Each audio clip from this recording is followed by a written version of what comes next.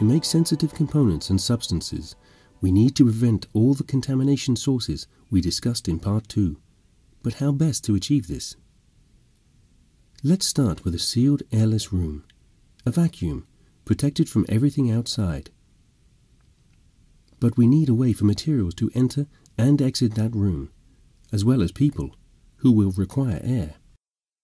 Also machinery, which will need servicing, and any necessary tools. Suddenly, our room is open to all kinds of contamination, but a proper understanding of the design and operation of clean rooms will help us minimize these dangers. Clean air is produced by removing virtually all of the particles contained in normal room air.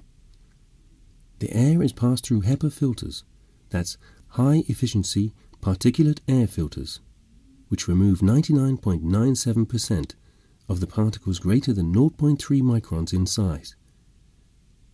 The air is then clean enough to enter our cleanroom. For cleanrooms where even higher standards of cleanliness are required, there are ULPA, that's ultra-low particulate air filters, which remove particles as small as 0.1 microns at 99.9999% efficiency. The air is maintained at a higher pressure than its surrounding environment, so that it always flows outwards. To construct our cleanroom, we need to consider using the right materials. The walls, floors, and ceilings should be non-friable materials that do not easily crumble or break up. They must be smooth and easy to clean and disinfect.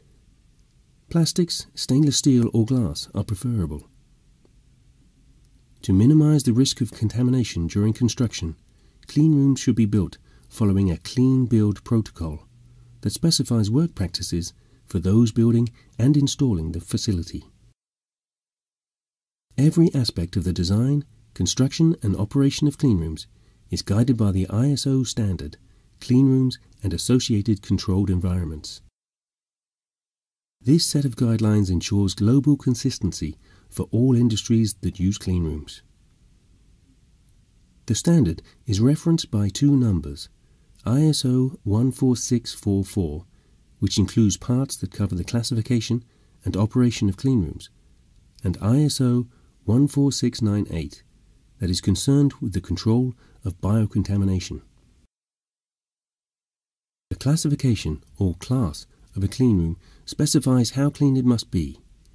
This is measured by the number of particles of specific sizes that are permitted in each cubic meter of air at any moment. The ISO standard contains detailed specifications, including how and with what equipment air cleanliness can be measured.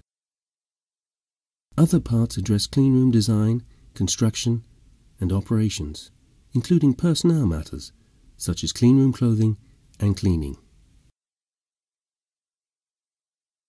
There are many different applications that require clean air, and clean rooms can vary in scale greatly.